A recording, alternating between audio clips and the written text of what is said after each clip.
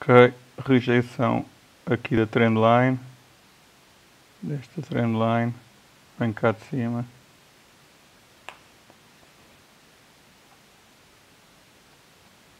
Isto gráfico diário, rejeitamos. Agora veio aqui apanhar os stop loss e vamos ver se vem aqui ou aqui ou se volta a subir. Os indicadores já estão a começar a chegar ao sítio de compra. Isto é o gráfico diário, mas pronto, tivemos aqui esta rejeição e continuidade. Agora vou pôr só as semanais. Faltam 24 horas para a vela fechar, por isso não, há, não é preciso ter pressa. Pronto, semanal. Continuamos aqui. Acho que já viemos à 20 e estamos aqui em cima da 21. Isto é zona de compra, mas convém ver o que é que está a acontecer. Já bateu aqui num destes suportes que eu tinha aqui assinalados e está a começar a subir. Isto é a zona de compra aqui.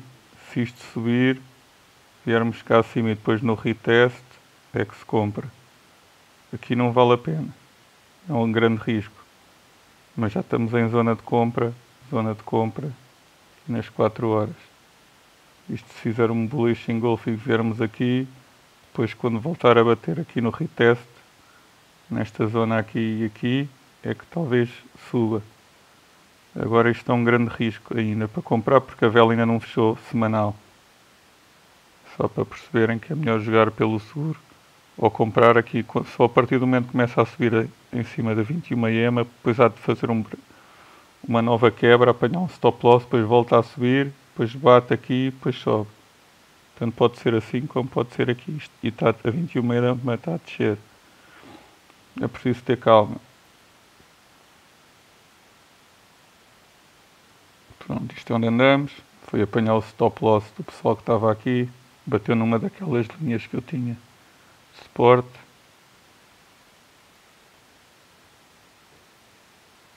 E pronto, continuamos aqui qualquer maneira, quem quiser arriscar o stop loss é aqui, mas ainda é perigoso. Os indicadores ainda estão a apontar para baixo aqui no semanal, por isso é que isto mesmo que possa subir aqui um bocadinho, pode vir aqui a 12 e depois voltarmos a descer a qualquer uma destas zonas. Nunca se sabe até onde é que vai. Tenho aqui este verdinho também para puxar. Não sei de onde é que vem, vem daqui desta zona. Puxar um bocadinho mais longe. Aqui. E ainda temos esta zona. Isto nunca sabe o que é que acontece. Está que estão aqui os 200, a 100, a 50. E o mensal, como eu disse, o mensal ainda não chegou nem a 12, nem a 21. Por isso isto é muito importante. Pode, podemos vir aqui ou aqui e de repente é que, é começa a subir e fechamos cá em cima.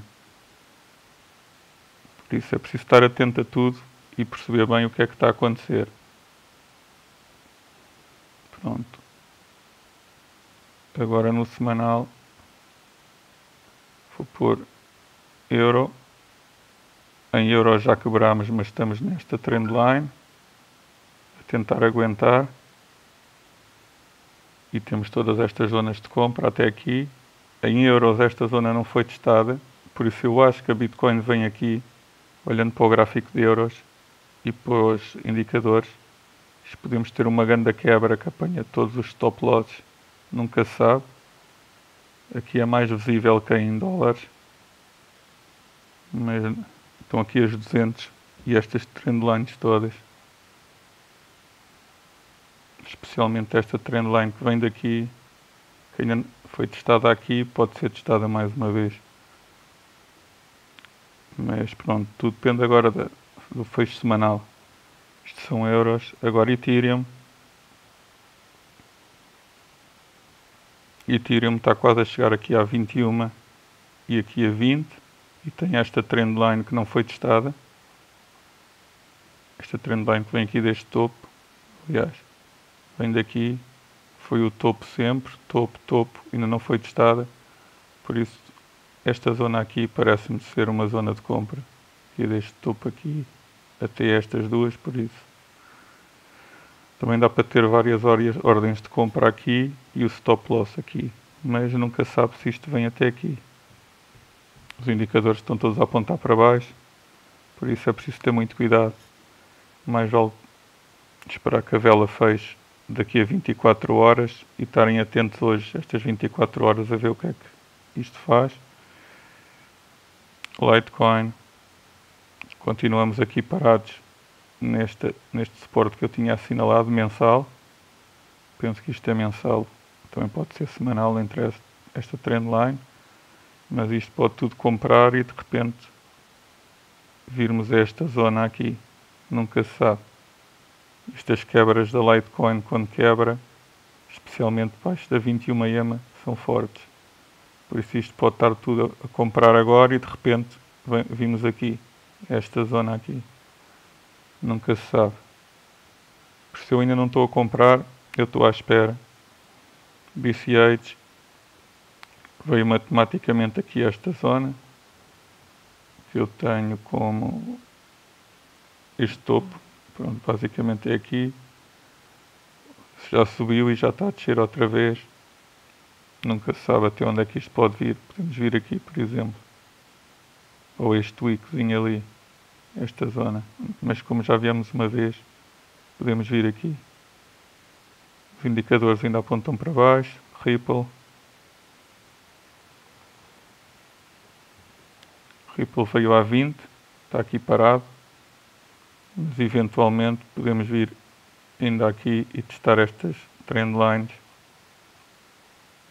tanto esta do topo como esta daqui que não foram testadas subimos e agora podemos estar a vir testar elas estão as duas aqui que é este topo e esta zona que faz mais sentido como teste, por acaso esta já foi testada por isso estou a ver a vir aqui e isto seria a zona de compra de Ripple. Mas a ver, nunca se sabe se podemos descer mais. Por isso, por enquanto, estamos nos esportes a aguentar. Stellar também já perdeu ali, estamos a vir aqui a 50 e ainda temos toda esta zona de compra aqui desta trendline que já foi testada aqui, por isso agora torna-se mais perigoso. Está aqui a 50 indicadores a apontar para baixo, é preciso ter paciência e esperar. Está a cair. Ainda estamos aqui, o IRX está a aguentar na 21 e na 20. Por enquanto tem aqui a 50 e a 100 e a 89 à espera. E podemos vir aqui sem problemas nenhums. Os indicadores ainda estão para baixo. E ouça. desceu, já subiu outra vez, está a tentar aguentar aqui esta trendline. Vamos ver se aguentar, isto é uma compra e o stop loss aqui de baixo, ou uma compra aqui, outra compra aqui, outra compra aqui, três compras e o stop loss aqui nesta zona. E o está a tentar aguentar. Link semanal.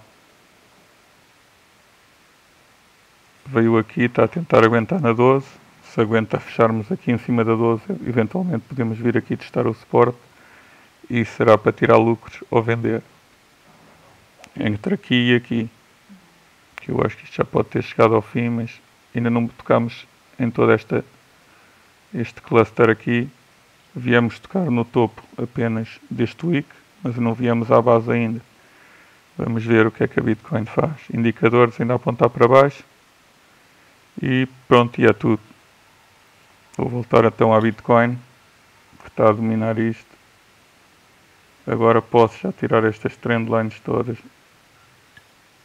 Vou deixar só as moving average, porque também sei as zonas de compra, que é esta zona aqui. Este aqui, este fecho de velas, que está aqui alinhado com a 100. E ver se isto aguenta aqui hoje, mas os indicadores ainda estão para baixo. Vamos ver o que é que faz. Isto pode ter um I que de repente fecha aqui, eu compro, depois meto o stop loss de baixo. Pronto. Continuamos aqui. O daily já está quase a chegar à zona de compra, mas está aqui a 200 exponential, que faz sentido virmos aqui, e a 200 simple, e aqui que apanha os stop losses todos desta zona do high leverage e a última salvação da Bitcoin. Se começarmos a fechar aqui debaixo disto, aqui desta zona aqui, torna-se perigosíssimo. Mas, mas pronto, no gráfico mensal nos 8600 nos 8600 temos, e 30 temos aqui a 21 e a 20 nos 8400, 8600 por isso é estar atento a todos os time frames ver o que é que estamos, está a acontecer e ter paciência. Esperar pelo menos agora que a vela semanal feche daqui a 24 horas e, e pronto, e agir e depois arriscar, nem que seja só para tirar lucros no próximo Balsa T ou primeira zona crítica de venda e depois esperar que isto deixa mais e voltar a comprar e, e, e subir o stop loss. E é isso. Pronto. 4 horas. Estamos a tentar subir, mas não sobe. Muita pressão de venda. Agora a resistência está aqui aqui, nesta zona. Obviamente aqui já foi testado e não conseguiu. E a 21 e a 12 estão aqui a puxar o preço para baixo. Duas horas. Isto agora convém que tenha um pump até fechar aqui em cima disto e depois é que desce para testar outro suporte, se calhar aqui, e aí é que sobe para se compra aqui, por enquanto é só lower highs. Lower lows, desculpe. Por isso, lower lows, lower lows, lower lows, lower low, low, lower low, lower low, fecho de velas em lower low aqui. Isto mesmo que venha aqui e aqui, eventualmente pode descer outra vez. Mais vale esperar. Começa a fechar aqui em cima depois sobe bem aqui, vem aqui e de repente há de testar o suporte e depois é que sobe. Por enquanto é preciso ter muita calma. 15 minutos.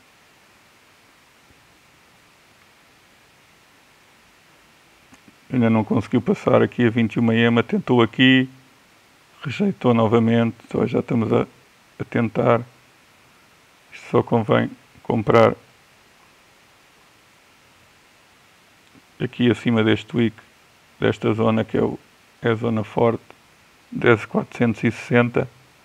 Só quando subir cá acima, bater na 10.460, aqui como suporte, esta, esta área toda, e depois subir. Por enquanto, não arriscar. É um grande risco. E pronto, é isso. Vou pôr o diário novamente, para ver o que é que andamos a fazer. Sabendo que a semana, aqui é que interessa, isto é zona de compra, mas tem que aguentar. Como ainda faltam 24 horas, isto ainda pode ter um wick aqui e de repente volta lá acima.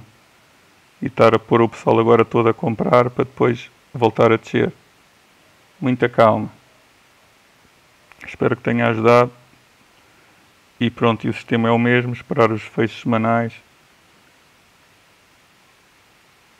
Lembro que estamos agora em cima deste suporte mas convém que feche a semana aqui acima dos 10,400, 10,500, ou seja, aqui na 12 EMA, aqui nesta zona, para tentar subir novamente. Onde estamos, estamos debaixo da resistência toda agora, que, que demorou muito tempo.